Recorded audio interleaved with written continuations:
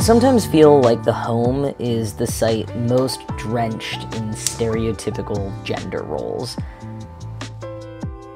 Even if the idea that women only stayed at home and took care of the house was fairly outdated when I was a kid, it was still assumed that the men were the primary earners, and the women, even if they also had a job, kept the house clean, kept the kids in line, cooked the meals, and made sure everything happened when, where, and how it needed done. Men and boys did the outdoor chores, women and girls did the indoor chores. I didn't really question any of this as a kid, but as I got closer to adulthood, it started bothering me how often it was assumed that I would take on the bulk of the cleaning, and how I had never really been taught how to mow the lawn or chop wood. And to this day, when doing certain household chores, I remember tricks that I learned from the American Girl magazine and then I get instantly angry because why was the American Girl magazine giving us tips on how to clean the house? I mean, skills any kid should learn, sure, but do you think Boys Life was regularly publishing tips on tidying up?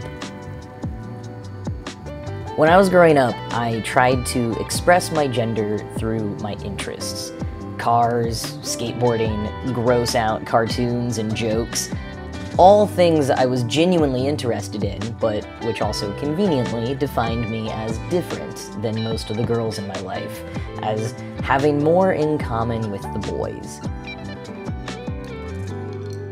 I did have some girl interests too. I had a ton of dolls and stuffed animals, all with their own elaborate backstories. I liked some girl books, like the Amber Brown series and Harriet the Spy, but since I was often grouped with the girls, I ended up becoming more well versed in those girl things. Because despite my best efforts, I was only ever a passing stranger in the boys' club. I wasn't always around for the more casual discussions and weekend outings. You know, I would have loved to race RC cars and fight about Indiana Jones versus James Bond. Instead, I traded gel pin collections and joined in debates about who was which Spice Girl. Not necessarily things I disliked, but the gender of the peers I was grouped with led me to become an expert in one set of interests instead of the other.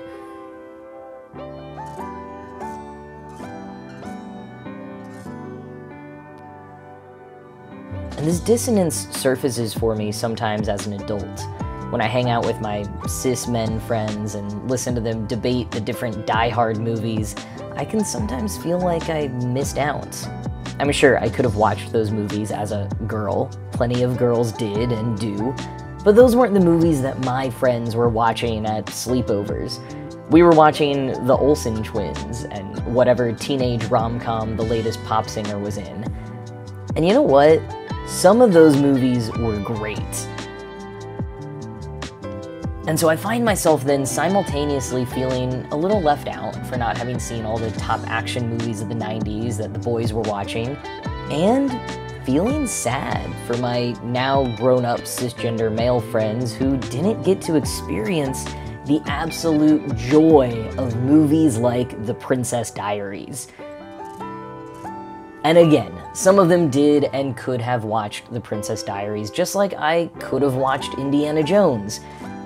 But it's kind of sad that admitting to watching it or wanting to discuss it with your friends would have marked you as different, and therefore maybe prohibited you from ever seeking out movies or toys or anything beyond what you were told you should like as a boy or as a girl. Or just being separated so much by gender meant that you never even heard of a whole bunch of things that you might have actually been really into. In a press interview about the Barbie movie, Kate McKinnon said, Gender roles deny people half their humanity. And that's really stuck with me. How many potential interests or skills do we all miss out on because of what society tells us we're supposed to like or do? Being a trans guy who didn't really know it until I was in my 20s and therefore grew up as some sort of tomboy, I feel like I was a little freed from those constraints. I had a Barbie and a bunch of Hot Wheels. I mostly stuck to boy toys and media, both out of genuine interest and a desire to express my masculinity, but I was free and encouraged to explore girl toys, media, and roles. So I feel lucky in that way. I think I still missed out on half, but the half that I got was half blue and half pink. Like, I got some girly stuff, but not all of it. And I got some boyish stuff, but not all of it either. You know, as a kid, if I wasn't that good at catching a baseball or using a hammer right away, it was easy for the men in my life to give up on me quickly, because it's not like I really needed to be good at those things. So even when I did express an interest, I wasn't often given a chance to really dive in and hone that skill. Meanwhile, despite my resistance to things like cooking and cleaning, the pressure was put on me to learn them. And not usually in a domineering way, but sometimes more subtly. Like my grandma bonding with me through baking, but not extending that invitation to my brother. Or Girl Scout badges, including achievements for things like sewing and cross stitching.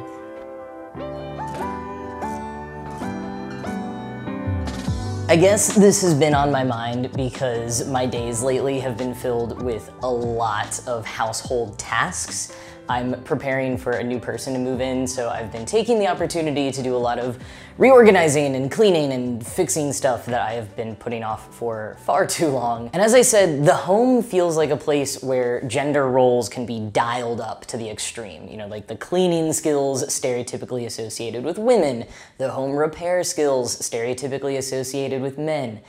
And maybe you could even argue that the sense that I have that I need to prepare and like refresh a house for a new person moving in is a result of being socialized as a girl, somehow having that awareness of the household. And for me, I do think it was a little bit, but it's mostly just who I am. Like when I was a teenager, I once confronted my dad about how I had so many more household cleaning chores than my brother.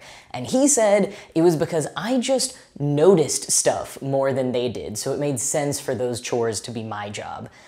At the time, I was so mad because it sounded like one of those bullshit excuses that mostly husbands tend to make to wives of like, oh, you're just so much better at doing dishes than I am. You should do it because, you know, I just mess it up. But as I have gotten older, I've realized that I personally really do tend to notice things that are dirty or out of place more than the average person.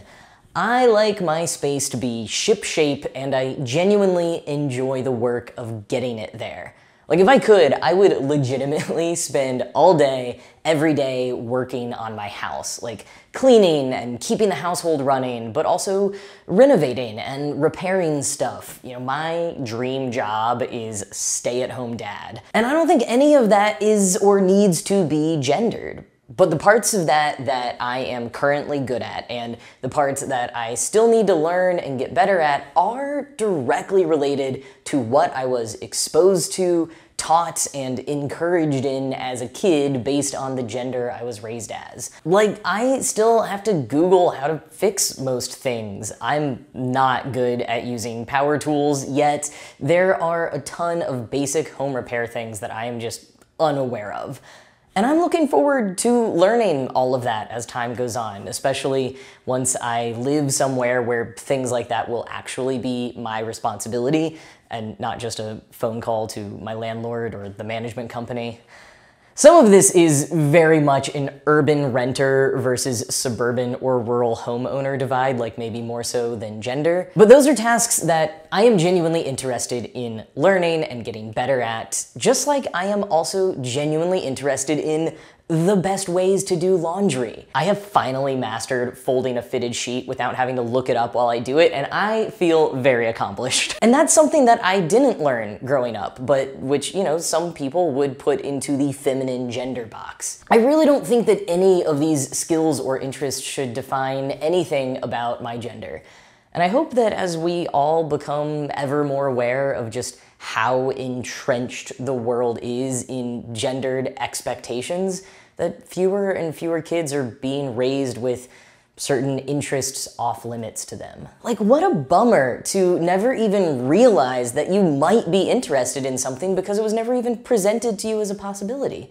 You know, how many more boys might be into baking cookies and learning to sew and watching girl movies if they had been shown it as an option for them, or if they hadn't feared what it said about them as a boy. Or as an example from my own life, you know, despite trying to engage with stereotypically boy interests as a kid, there were so many more of those things that I didn't realize I liked until after I transitioned as an adult and I was sort of expected to get into them. Like being expected to follow sports as a man eventually led to a genuine interest in football. But the little social push of some men really only being able to communicate via sports stats was what made me initially try to pay attention. And that grew into an actual enthusiasm.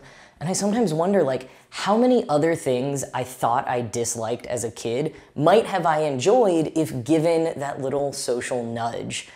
Kind of like the social nudges I was given towards girl interests that then I was free to explore.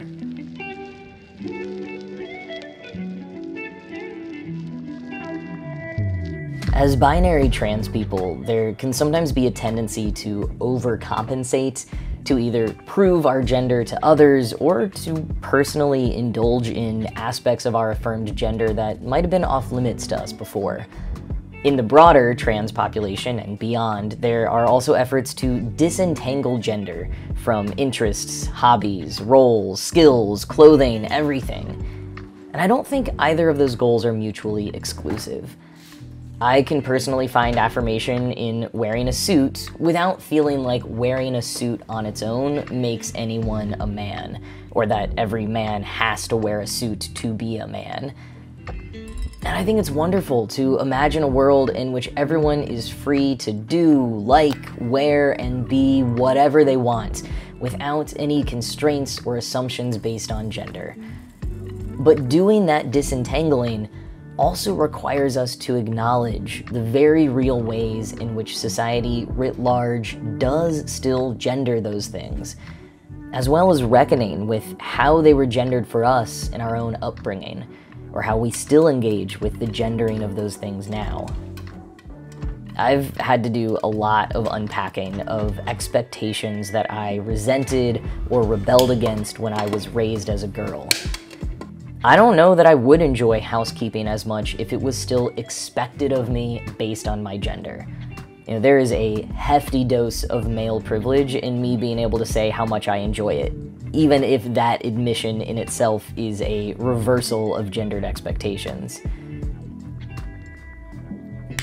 As I continue filling in a lot of the gaps in my pop cultural and practical knowledge base, I'm trying not to pick up new hobbies based solely on what I feel like I missed out on growing up, or avoid certain ones because they're too often associated with femininity. I'm just following what sounds interesting to me, leaning into that full breadth of my own humanity, even if my version of that might look a little more boring or even binary at first glance compared to other people's.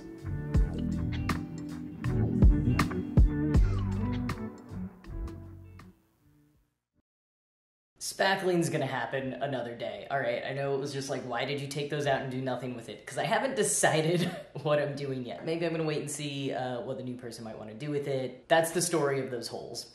That's all we're doing today.